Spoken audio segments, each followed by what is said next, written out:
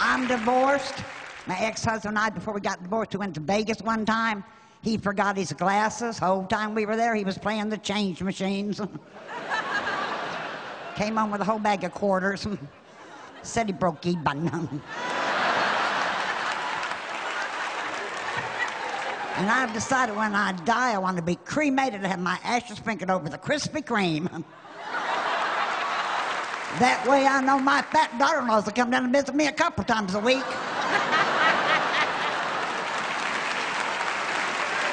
but I'll never forget the time my youngest daughter came home from college for the weekend.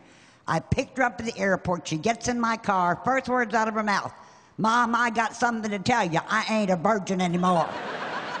I said, all this money I'm paying to send your ass to college and you still say ain't?